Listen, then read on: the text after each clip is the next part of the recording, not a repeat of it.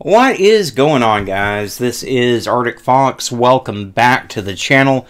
Today we are looking at the missing persons case of 43 year old Quentin Johnson, who is missing out of Detroit Lakes, Minnesota. Quentin went missing on the 7th of December 2023.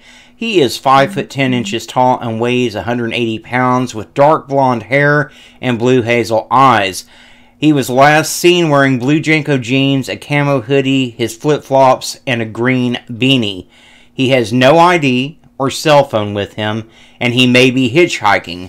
Quentin was last seen in Montevideo, and he does have multiple tattoos, but with the type of clothing he's in, most will not be visible. On his left arm, starting at the wrist, is a tribal tattoo that spirals to his chest, and he also has a geisha girl and a samurai on his left forearm. His right forearm has a phrase, and below the elbow is a yellow flower. He also has both of his feet tattooed with what is meant to be soleless sandals. They start at the middle toe and come up around his ankles.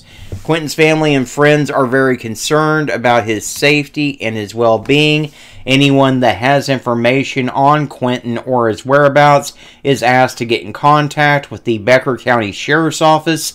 That number is 218 847 2661.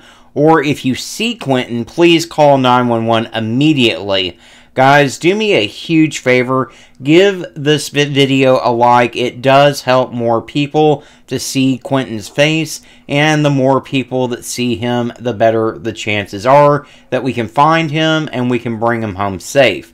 Also, if you're not subscribed to the channel yet, consider clicking that subscribe button. It really does help the channel out, and if you ring that notification bell, you'll always be alerted whenever I post another missing persons video.